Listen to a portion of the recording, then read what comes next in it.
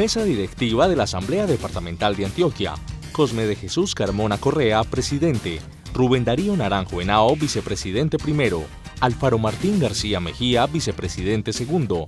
Pablo Iglesias Escorce, secretario general.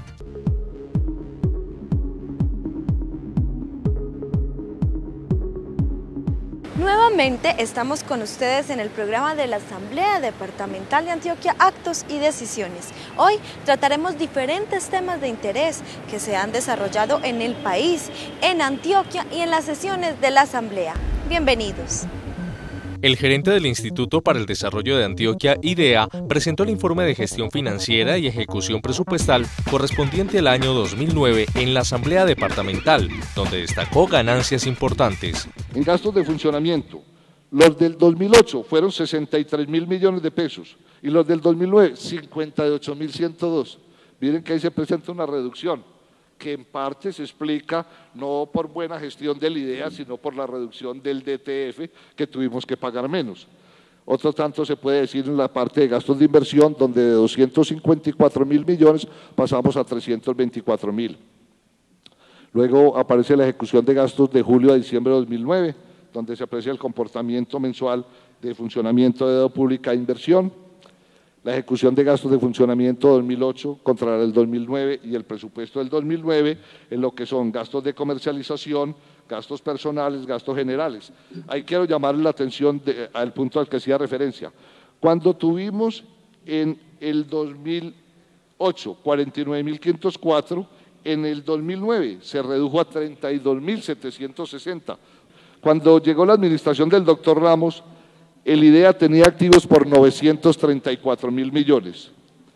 A diciembre 31 del año pasado ya eran 1.640.000 millones, es decir, un crecimiento del 75%, 75.59 exactamente en dos años. Después de destacar la liquidez de la idea, la intervención del diputado Nicolás Pineda llamó la atención sobre la posibilidad de que la idea entre en agotamiento de patrimonio líquido. Pero me refiero a este documento que tomo como oficial para hablar no de la liquidez de la idea, de la cual no me cabe ninguna duda, sino del peligro del agotamiento del patrimonio líquido de la idea, sustancialmente diferente. Ojo con el patrimonio líquido de la idea que está destinándolo específicamente a un solo proyecto que es necesario para Antioquia. Que este diputado Nicolás Pineda hace fuerza para que salga ese proyecto Hidroituango que aquí lo dije reiteradamente, es la caja de ahorros que el Señor le ha entregado a Antioquia porque entre montañas nos facilita un depósito de aguaceros, que es el ahorro que le dio riqueza a empresas públicas de Medellín y que hemos acariciado generaciones atrás y que las futuras generaciones nos agradecerán si hacemos un buen manejo de eso. Lo que estamos pidiendo es que el IDEA no quede negociando con la cédula, que tenga patrimonio de esa maravillosa cifra de activos que posee. En el marco del debate, como un proyecto serio e importante en la generación de energía, calificó el diputado César Pérez García el proyecto hidroeléctrico Ituango. Nadie puede dudar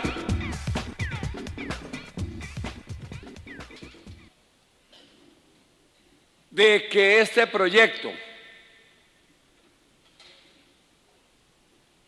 Ituango Pescadero es el esfuerzo que viene de un estudio serio, importante en la generación de energía. Seguidamente, el diputado Pérez García dio lectura a un documento suscrito por la mayoría de los diputados el año pasado en el que se apoya y respalda al gobernador y el gerente del IDEA en la compra de acciones del proyecto hidroeléctrico Ituango. Reclamamos la búsqueda de alternativas que eviten endeudamiento departamental y maximicen participación accionaria en proyectos. Destacamos que la decisión del departamento en la adquisición de las acciones de Pescadero y Tuango se apoyó en aspectos como, primero, un estudio de Corficolombiana, que es una de las entidades más acreditadas en valoración de inversiones, especialmente en el campo energético. Dos, que el departamento no se endeudará. Y tres, que el interés manifiesto de empresas multinacionales de comprar energía en gran volumen para proyectos de Antioquia. Los dirigentes antioqueños que suscribimos este documento apoyamos decididamente la democratización de la participación accionaria de los entes territoriales en los proyectos de generación, transmisión y disminución de energía y distribución de energía. De acuerdo con lo expresado por el vicepresidente primero de la Corporación de los Antioqueños, el balance presentado por el gerente de la IDEA es excelente y el proyecto hidroeléctrico Ituango partirá en dos la historia de Colombia y de los antioqueños. A mí me parece que el balance que hace el doctor Álvaro Vázquez, gerente de la IDEA, es un excelente balance. Eh, un instituto para el desarrollo de Antioquia que está actualmente dando la lucha para sacar adelante un gran proyecto como Pescadero Ituango, que no sé por qué le cambiaron ya por Hidroituango, debería seguirse llamando Pescadero Ituango, que fue el original.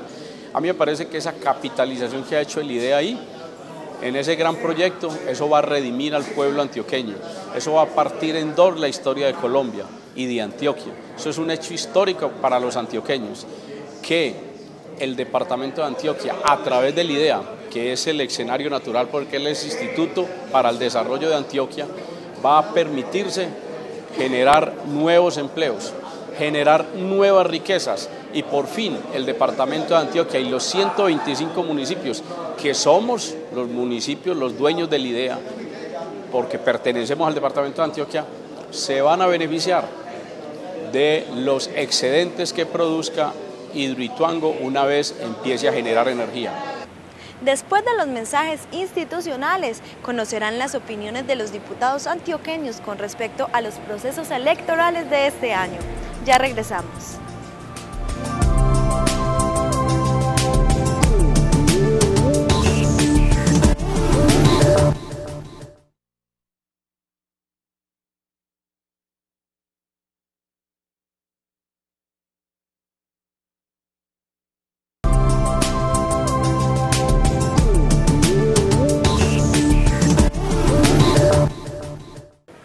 A continuación, los diputados del departamento hacen el balance político de la pasada contienda electoral y el análisis de las próximas elecciones donde se conocerá el presidente de los colombianos. Los diputados antioqueños de las distintas vertientes políticas del departamento hacen un análisis de las pasadas elecciones donde se eligió el Congreso de la República, tanto senadores como representantes a la Cámara. Decían los enemigos de Colombia, ¿no? yo no diría a los liberales, a los enemigos de Colombia, que el partido de la U se iba a acabar. Pero es que el partido, el partido de la U no es simplemente un capricho, es una fortaleza del pueblo colombiano que se vio en la necesidad de montarlo con el fin de estructurar más las políticas de gobierno y darle más solidez a la democracia colombiana. Y por eso el partido de la U triunfó y triunfó porque es un sentimiento de toda la comunidad colombiana. Nosotros en el Partido Conservador, fuera de tener un triunfo importante en la Cámara, ya que teníamos cinco representantes, hoy tenemos siete, también lamentamos que pasamos de cinco senadores a tres, a pesar de tener casi una votación de 400 mil votos. Yo creo que el hecho de que hubiera o existieran unas altas votaciones en dos personas hizo que otros perdiéramos dos senadores y eso hace que el partido hoy tenga que aceptar de que nosotros en esa parte fue una parte agridulce.